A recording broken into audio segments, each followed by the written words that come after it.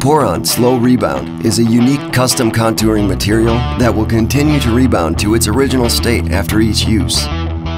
Unlike other memory foams that break down over time and won't bounce back, Poron Slow Rebound is specifically designed to continually adapt to your every movement.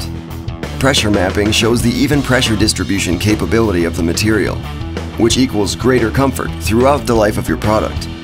And because Poron Slow Rebound includes Microban antimicrobial protection, you don't have to worry about stain and odor causing bacteria, mold, and mildew.